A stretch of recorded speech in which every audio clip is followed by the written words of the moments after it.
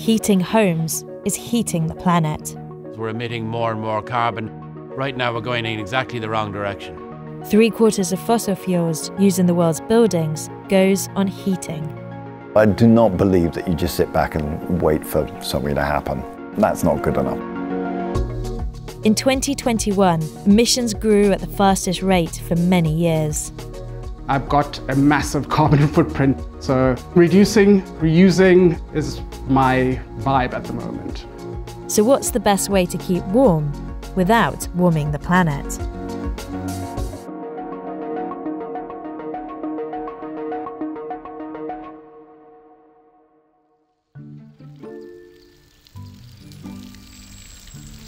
Thirty-seven-year-old Mokoena is a businessman living in Johannesburg.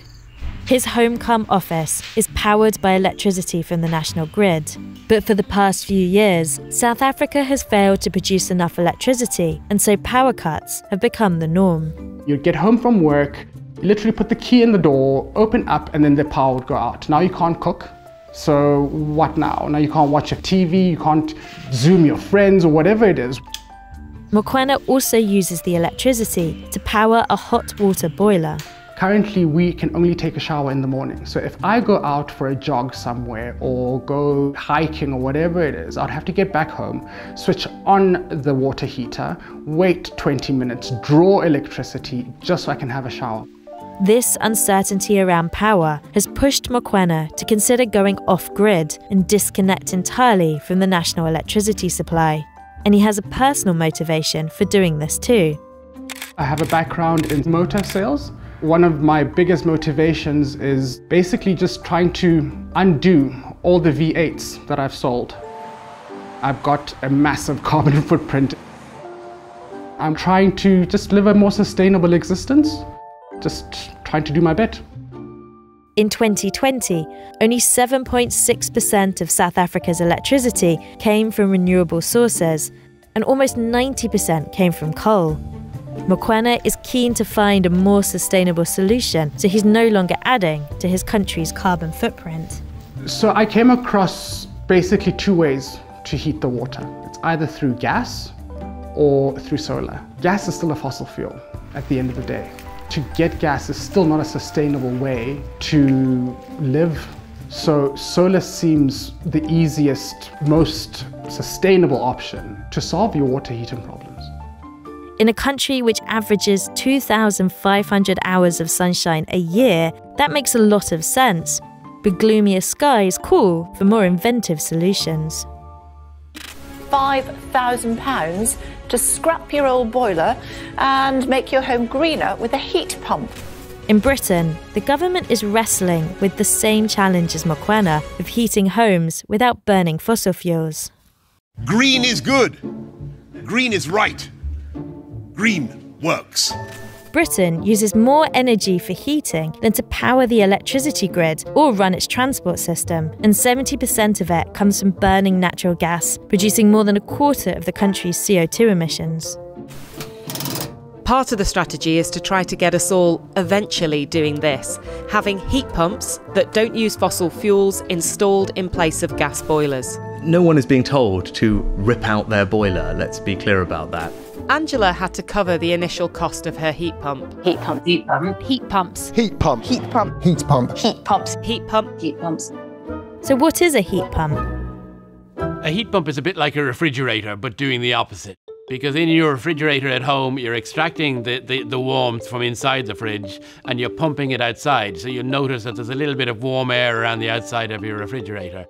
A heat pump does exactly the same thing. It sucks out small amounts of heat from the air around your house and it concentrates it and pumps it into your house to make you warm. So it's a really efficient way of extracting what is essentially free heat from the world around you, concentrating it and bringing it into your home. This is Max Fordham, a pioneer of sustainable design and environmentally friendly engineering. Today, his company is a leading voice in the push towards low energy buildings with low or net zero carbon emissions. And this is one of its latest projects, transforming Oxford University's Wolfson College with a heat pump powered heating system. Senior partner Bill Watts has the job of bringing the vision to life. On somehow, there you go. the heat pump, it's an air source heat pump. There are four of them. They're about five meters long, um, that high, and they're going to be sitting here. Four big fans, one, two, three, four, uh, sucking air in at the back and then blowing it out that way. And this basement is about to become the engine room for Bill's mission to reduce the carbon footprint of the college. These are the boilers that heat the building currently. We've got about 2,500 kilowatts of boiler power and we're replacing it with 750 kilowatts of heat pump. We're confident that we've dropped the amount of heat loss of the building so we can reduce the size of the heating system by to a third of what it is. Nearly 20 million heat pumps were sold worldwide in 2019, a number that needs to triple if climate targets are to be reached. But those targets are also dependent on a more traditional approach to keeping buildings warm. Okay, so this is a new window. Got the triple triple glazing. The insulation of this glass is a factor of 10 better compared to single glazing. I mean, it's absolutely amazing. It's exciting stuff for an environmental engineer. His clients, on the other hand, are likely to be more excited by the 80% cut in the college's energy bills that this extra insulation is going to help deliver. Take out the old window, put the damp-proof membrane down, put in a new window, foam it up, seal it up, and then insulate around. That's basically it. Back in South Africa, Mokoena has reached similar conclusions to Bill Watts. So for insulation in the ceiling, I would put pink foam to help insulate. In the South African context, that's to keep the heat out more than to keep it in. Then definitely change the windows. But everyday consumers like Mokoena don't have the deep pockets of an Oxford University college. Cost is a problem. When it comes to double glazed glass, it just means remodeling again, and it's, it's a huge cost. What we're doing is we're asking the government to insulate all the UK homes.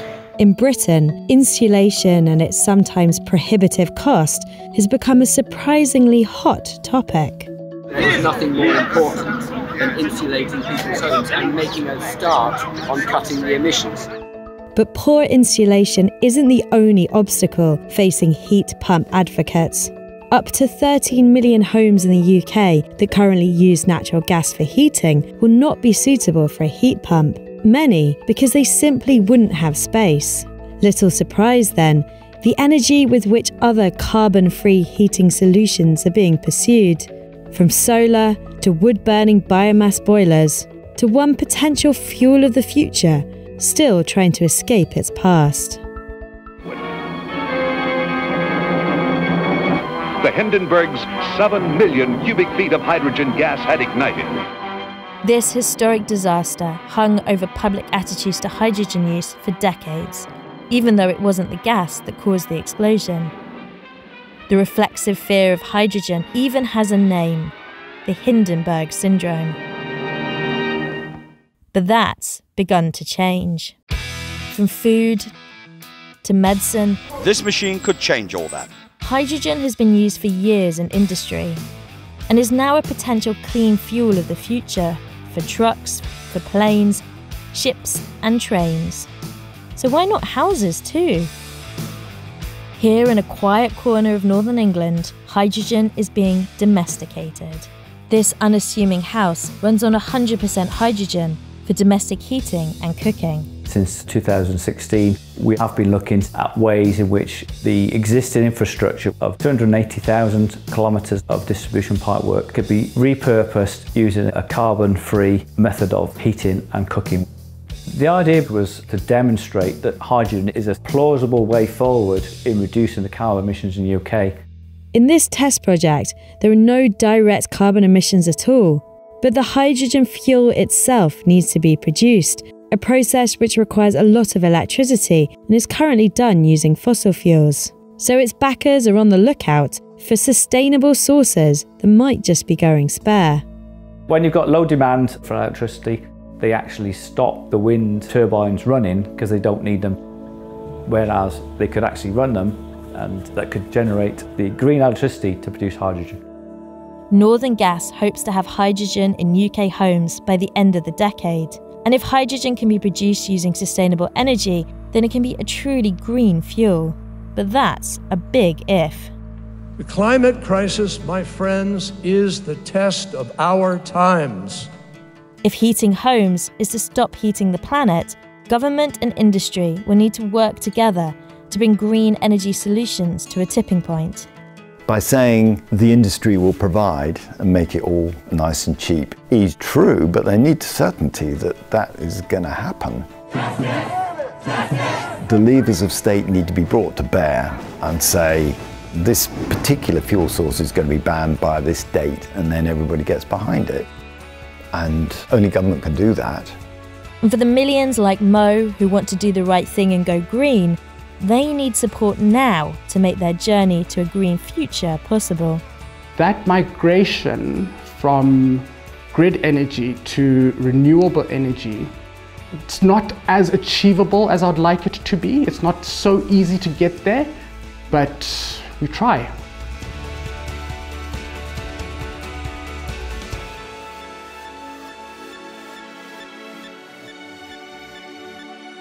I'm John Fasman, The Economist U.S. digital editor. To keep up with all our climate change coverage, click the link. Thanks for watching, and don't forget to subscribe.